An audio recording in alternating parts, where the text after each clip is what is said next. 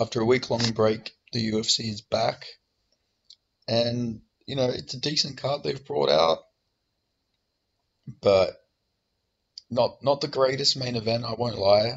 Like it is a weird one, but still should be a good card. So I'm looking forward to it. So let's start off with the, the first fight of the night, which is Montana De La Rosa versus JJ Aldrich. Uh, I'm going to be taking JJ Aldrich in this fight. I just think she's just a I don't know. I just think she's she's actually not bad.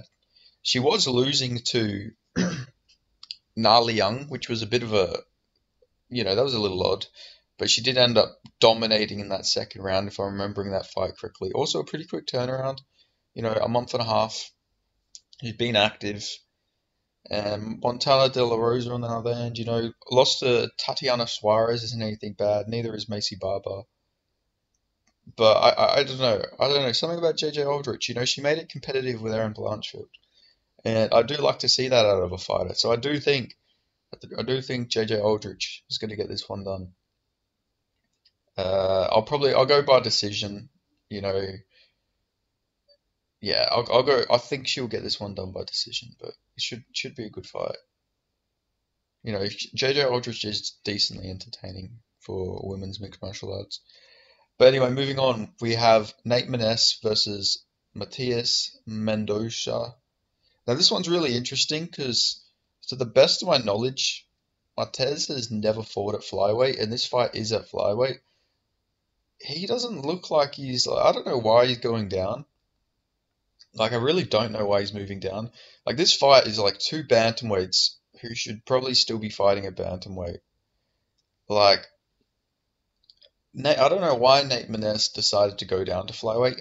Like he, I, I generally think he looks like an alien at that weight class. Like I'm not even like being rude or anything, but when he was cutting down to 125, his head, like he, he generally looks like an alien when he's dehydrating himself to make flyweight. I don't know why he's putting himself through this. Uh, but he's not a bad fighter, you know. He beat Tony Gravely.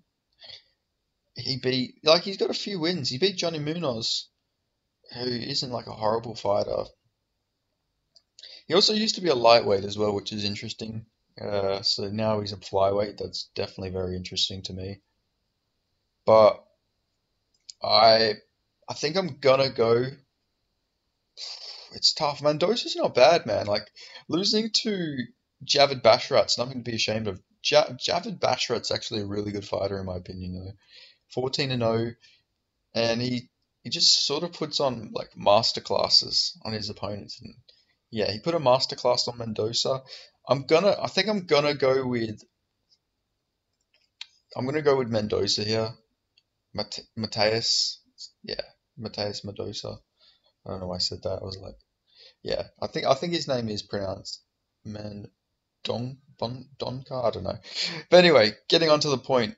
I think I think he's gonna I think he's gonna get this one done. I think he's gonna I think he's gonna TKO Nate Maness. I don't trust Nate Maness's chin at flyweight. Now maybe uh, Mundoka will be the same, but I I, I think he, he's you know he's not that big. I'm sure he can make bantamweight uh, flyweight healthily. You know he weighed in 134 in his last fight at bantamweight he does look like a skinny dude, so I think he will be able to make the weight, and I think he's very powerful. Like he's a very powerful guy. If you look at his record, all KOs, and he like actually flatlines people as well. So yeah, I'm gonna I'm gonna go with him, but Nate Maness is live in this fight. This isn't like a one-sided fight in my opinion. Nate Maness is actually really good. He's got really good boxing, but fuck, he does have really good boxing you know, this is actually this is one of the harder fights to predict on this card, in my opinion. Plus, he's really big. Like he's tall. He's got a long reach. Fuck, I didn't think I'd be breaking down Nate Nate Nate Maness versus Mateus Mundoka so much in this on this card. I didn't think this would be the one to stump me a little bit. Oh, mm, only half an inch. Okay, yeah, I'm gonna go. I'm gonna go with Mendoka. I'm gonna go with Mendoka, but I'm not confident in it. And then moving on, we have Kanako Murata versus Vanessa Demopoulos. I don't even know who. Call me a casual, but I don't even remember who Kanako is. She hasn't fought for two years. Okay. Okay. I was like, who the fuck's this? She beat Randa Marcos. You know, Marcos did beat Carla Esparza, so that's not a bad win. She's Japanese. Don't know where she trains out of. She is a wrestler. And Virna Jandiroba, she lost to her by shoulder injury. So not even like a legitimate loss. You know, she, she looks like she's a bit of a beast going for a record. Yeah, you know what? I'm, I'm going to go with her over Vanessa Demopoulos. I think, yeah, I think she'll get this one done against Vanessa Demopoulos. You know, I think I think Donop, Demopoulos has sort of hit her ceiling. You know, she's got some wins, but you know, lost to Karolina Kowalkiewicz, and you know, going to a split decision with Jinh Yu Frey is not a good look in my opinion. You know, Yun, Yu Frey, sorry, has lost quite a lot of fights. And her only last win was against Ashley, Ashley Yoder, who is quite literally like, what, 8 and 8? So that's. She's still in the UFC? She's fighting on this fucking card? No, she's fighting on next week's card. What the fuck? How is Ashley Yoder still in the UFC? She's 8 and 8. Yeah, okay. Sorry, uh, that that shocked me a little bit. I didn't didn't realize they let 50-50 records in the UFC. Uh, but yeah, I'm gonna go with Kanako in this fight. I think she'll beat Vanessa Demopoulos.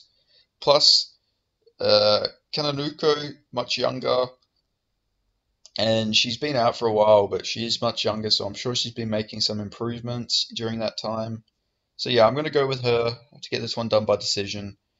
And then we got Johnny Munoz Jr. versus Ori Leng. It's literally that's just his name on here. They they got rid of his his full name. I think he's wasn't it? I don't even know. I'm not even try, but so yeah, it's just Ori Leng, the Mongolian murderer. Pretty hard uh, nickname. So he lost to uh, Zahabi by KO in like the first round, first minute. But you know that that fight has nothing on this fight stylistically. You know he doesn't have to worry about getting KO'd by Johnny Munoz Jr. In my opinion, I don't think Johnny Munoz's striking is really that good. Uh, he looks very awkward on the feet, and he is a he is a jiu-jitsu guy. You know, we've seen him against Daniel Santos. He kept flopping on the ground, trying to like you just pull the Oliveira on Oliveira's teammate, like pretty much. But yeah, he he worries me a bit on the feet, if I'm being honest. Plus, he's not the most durable guy either. He does have. He did. I was going to say he's got some good wins, but he really doesn't. You know, Ludovic Schulen isn't the greatest fighter.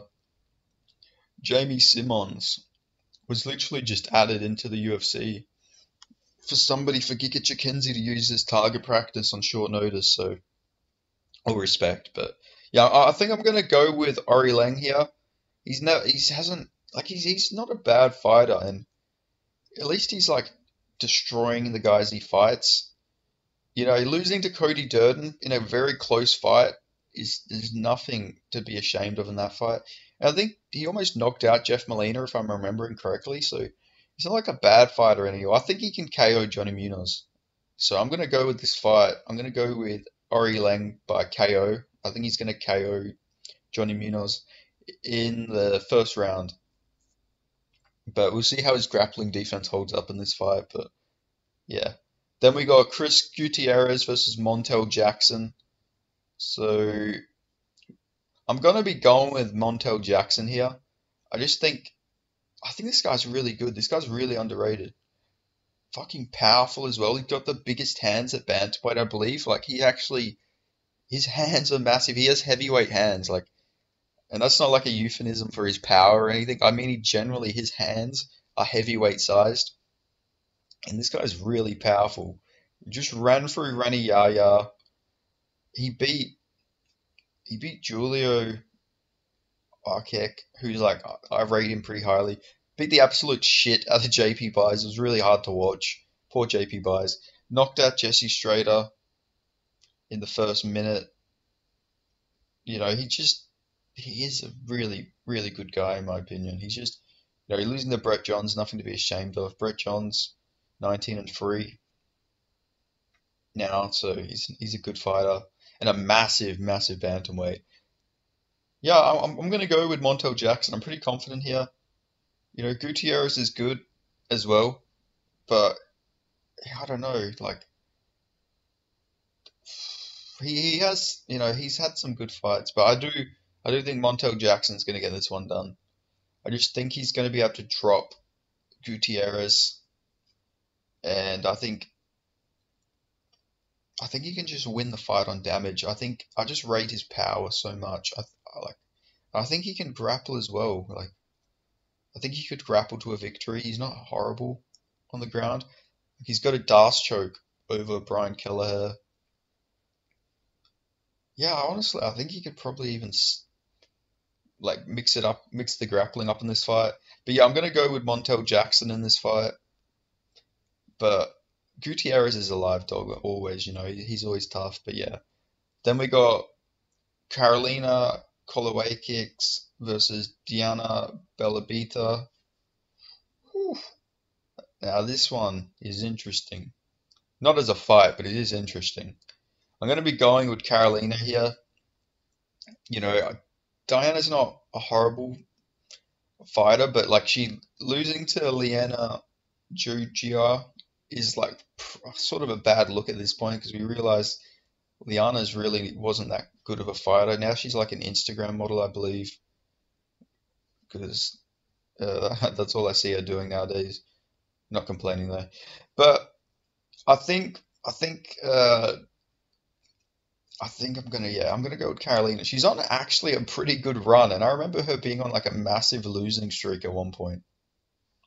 Like she was she had lost to Andrade, Waterson, Grasso, uh, Yan, Penne, and it was looking like it was going to be it. Then she comes in, beats Felice Herrig, beats Gomez Juarez, beats Demopoulos, and now she's got Diana, and I think she's going to win. She's on the run of her career at 37 years old, only in women's MMA. But yeah, I'm going to go with Caroline. I think she gets this one by, I think she gets this one done by decision. Then we got Bill Algeo versus Alexander Hernandez. I think stylistically, this is a nightmare matchup for Alexander Hernandez. A long cardio machine like Bill Algeo. Yeah, this this isn't going to go good for Alexander Hernandez. I think we're going to see Bill Algeo just break Alexander Hernandez in this fight. Sort of similar to how Bill Billy Quarantillo did Alexander Hernandez. I think he's just going to break him sort of like that. That's honestly how I see this fight going. Like, I, but I think he can have more success on the grappling. Like, I think he could just we could see him like gassing out Alexander Hernandez with like clinch knees to the body, taking him down, and then like sort of ground and pounding him out. I can see him just I can see him having Hernandez's back and just like you know ground and pounding him from the back. Like I, I, I see that. I don't know why. Like I just see that happening in this fight. You know, he beat Johannes Brito. Brito is like a really underrated win. You know, Brito beat Diego Lopes, who everybody is so super hyped on, and Brito beat him on the Dana White Contender Series. Brito also beat uh, who's the other guy beat? He like he's got some really good wins on his record. Oh, he beat uh, Chepe Mariscal in one of the most brutal KOs I've ever seen in 44 seconds. I thought Chepe was like Dunzo in that. Like he was brutal. You know, is a really good win to have, and like Bill Algeo beat him pretty convincingly as well. So I think I think he's going to break Alexander Hernandez here. I don't like Alexander Hernandez at featherweight. I don't know why he's doing this to himself. He should stay at lightweight, but like he looked, he didn't, he didn't look the greatest against Jim Miller, but you know he he didn't look horrible either. just I don't know. Was he was on his way to losing, but then he, he did sort of eye poke Jim Miller, so which yeah, it's a bit of a dog act. But I'm gonna I'm gonna be going with Bill Algeo here. I think he'll get this one done. And then we got Felipe Lins versus Ion Cutelaba. This is a tough one. This is generally a tough one. Felipe Lins is looking good nowadays, but like he's beating old men. Like, and arguably, in my opinion, I I thought he lost to Marcin Prachnio, if I'm being honest. Then he got chinned by Tanner Boser. You know, he's been chinned quite a lot. Chinned by Vadim Nemkov, chinned by Kelber Silva, got a knee injury against Kelly Anderson. And that, who the fuck is Kelly Anderson? I thought it was going to be like some intergender match or something. Uh, he beat. He also beat Maxim Grishin, but you know he's old, and I don't really rate a win over OSP at this point. You know it's OSP, and he's a lot older. And you know, obviously MMA math doesn't work, but Ion Cutelaba like beat the shit out of Tanner Boser, and Tanner Boser actually brutally KO'd Felipe Lins. Not that that really matters, but I'm going to be taking. I'm going to go with Ion Cutelaba. He gets some of the worst fight IQ, so he'll probably mess this up somehow. But I think, I think he can knock out Felipe Lins. But we will see. Also, Felipe Lins is 38 years old. Like, obviously, it's light heavyweight, so you can get away with that. But it's crazy how old this guy is. But yeah, I'm, I'm going to go with Ion Cutelaba here. I think he can just chat his way to victory, is how I'm going to put it.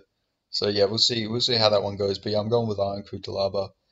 And then we have Drew Dober versus Ricky Glenn. Uh, uh, so this is interesting. We've seen Drew Dober's chin get cracked by Matt Frevola, but we also seen Ricky Glenn's chin get cracked by Christos Gar- Gargios. Uh, and I rate getting your chin cracked by Matt Frevola. And even then, he got knocked down, but he wasn't out cold or anything. But I generally, like, I don't know. It was weird how Ricky Glenn showed up against Christos. Like, he looked great against Grant Dawson, arguably won that, almost finished Grant Dawson, who now Grant Dawson's on a run and is main eventing this card. It was really, it's, it was weird how he showed up against Christos. It's like he aged like 40 years in like a year. It was really weird. Like it was weird. It was out for all of 2022 as well, so maybe we should have known. But I think Drew Dober's going to knock him out cold. Like that. Christo- uh, Ricky Glenn just showed up so slow against Christos. Like he just looks so bad that I can't trust him to win. Drew Dober is older than him as well, which is weird to think about.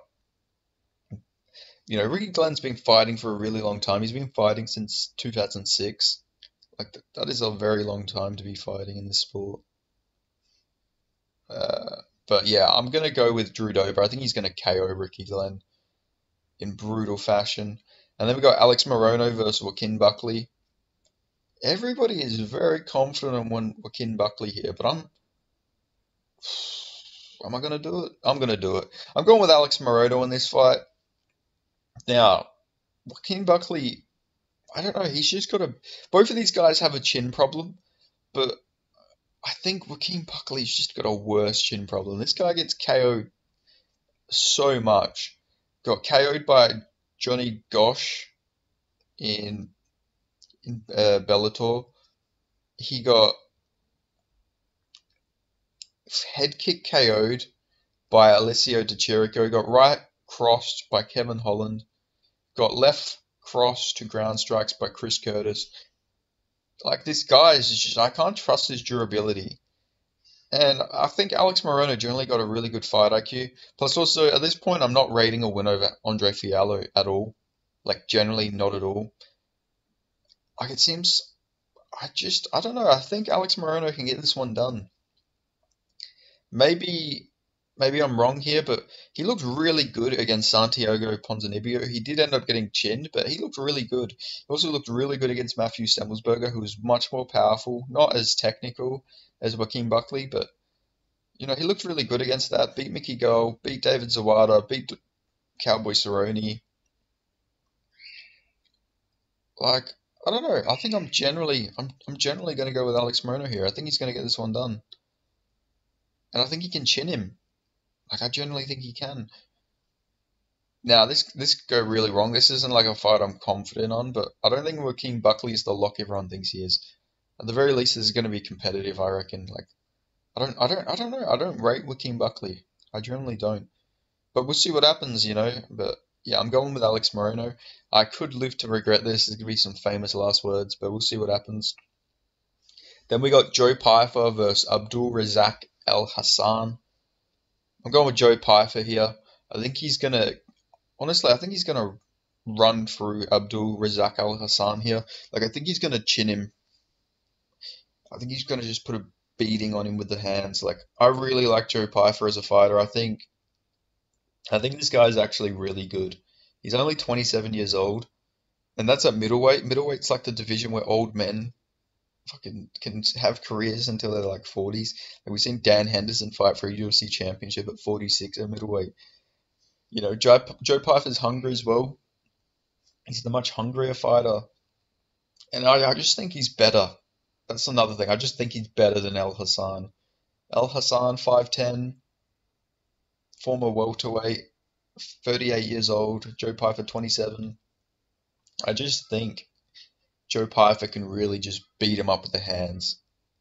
Like he's he's got some really nice hands. I think he can mix it up to the body, and I, I think he can knock out Abdul Razak Al Hassan. Now Al, Alhassan did beat Claudio Ribeiro, but do we really rate a win over Claudio Ribeiro at this point? Like he, he his only win in the UFC was against Joseph Holmes. Like Joseph Holmes isn't UFC level. And then besides that, you know, then he gets head kick KO'd by Roman Kopylov. Like he doesn't really have a gas tank, Claudio Ribeiro. Especially if Abdul Razak Al Hassan is out carding you. But yeah, I think Joe Pyfer's got this fight everywhere, and I think he will chin Abdul Razak Al Hassan. I'll go second round actually. I, I think he'll gas out Al Hassan, mixing it up to the body a bit, and then I think he'll get him out of there. And then we got the main event. We got Grant Dawson versus King Green, Bobby Green, legal name King.